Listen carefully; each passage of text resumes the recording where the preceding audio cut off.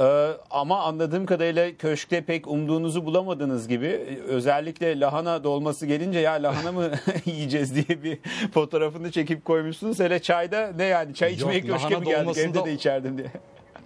Evet.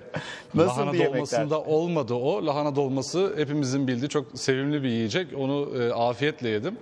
E, lahana dolmasından sonra e, yengeç mi ıstakoz mu artık bir e, kabuklu deniz canlısı olduğunu tahmin ettiğim bir canlının e, kabuksuz hali geldi özü- e, gözümüzün önüne ve e, insan tuhaf oluyor tabii. Çok sık yediğimiz şeyler değil bunlar. E, Cüneyt Bey siz yiyor olabilirsiniz ama benim e, hayatımdan Yo, ben de çok sık yemiyorum. Yani- Henüz yer yok. Hani ileride olur mu bilmiyorum ama şu an için yemiyorum. Ben de bilmiyorum nasıl bir imaj bıraktım onu ama yemedim. kahvaltıda istakoz yiyen bir insan değilim yani.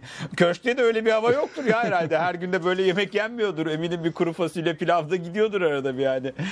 Peki ne konuştunuz yani genel E, olarak vallahi- atmosfer nasıldı? Evet.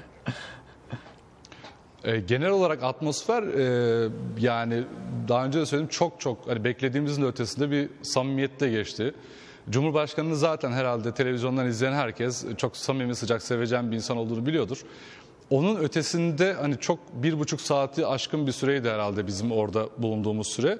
O süre içerisinde hani e, bir an olsun hani böyle bir devlet işte efendim bir zorunluluk bir işte e, çok ağır bir yemek yeniyor burada işte çok önemli konular konuşmalıyız havası ki ben hani o şeye biraz uzak bir insanım zaten hani yapı gereği.